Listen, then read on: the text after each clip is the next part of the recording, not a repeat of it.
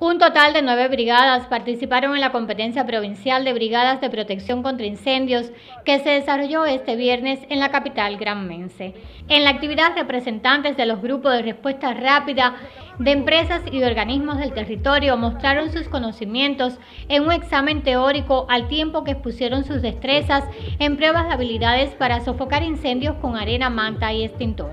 La importancia que se le ve y reviste esta, esta competencia no es más que eh, las brigadas poner en conocimiento eh, y, demostrar las habilidades y los conocimientos que ellos tienen en caso de una situación, una emergencia que se pueda presentar en su empresa y cómo sofocar la misma para, para reducir los daños menores y la pérdida de vidas humanas.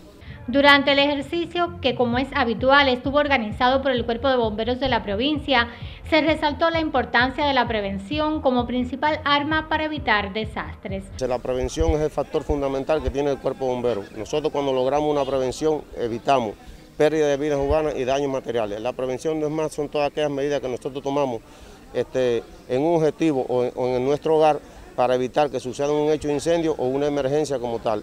La competencia forma parte de las actividades de la 56 edición de la Semana Nacional de Protección contra Incendios, la cual está encaminada a fomentar en la población y en los organismos estatales la cultura de prevención y enfrentamiento a siniestros de esa naturaleza.